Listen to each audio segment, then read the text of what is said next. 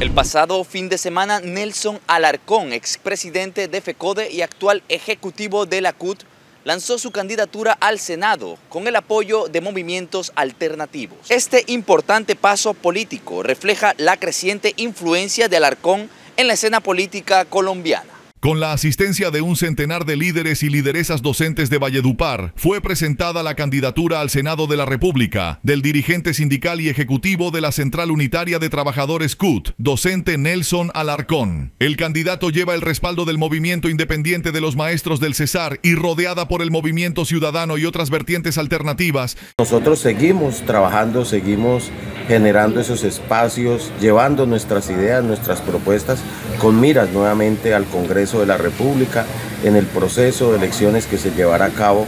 eh, en el 2026. Seguimos en ese escenario en defensa de la educación pública, en defensa de los derechos de todas y todos y por supuesto por cerrar las brechas de desigualdad y miseria que existen en nuestro país. Que continuaremos en ese trabajo arduo de poder tener un gobierno, continuar mejor con un gobierno alternativo, progresista e invitar a todos los sectores de izquierda, a los progresistas en ese gran Frente Unido Popular para seguir generando los cambios y transformaciones que hoy requiere y necesita nuestro país. Quería preguntarle precisamente eso, ¿qué movimientos políticos, qué fuerzas políticas lo acompañarán a usted en este proceso?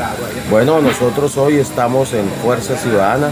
que lidera acá uno de nuestros vecinos de este bello y hermoso departamento de esta ciudad, Carlos Caicedo del Magdalena, que ha liderado un proceso muy importante, hoy precandidato presidencial y que obviamente estaremos en ese gran Frente Unido Popular para seguir generando eh, las transformaciones y escoger un único candidato a la presidencia de la República y desde eh, las listas al Congreso de la República estaremos ahí para seguir impulsando, fortaleciendo este gran proyecto que toda la vida hemos tenido los sectores eh, progresistas, alternativos, de izquierda, de centro izquierda y por supuesto que llegaremos o continuaremos mejor y teniendo mayor eh, número de hombres y mujeres en el Congreso de la República que hoy se requiere y se necesita. Finalmente, profesor Nelson Alarcón, ¿cuál es el mensaje que tiene usted para los docentes del Cesar?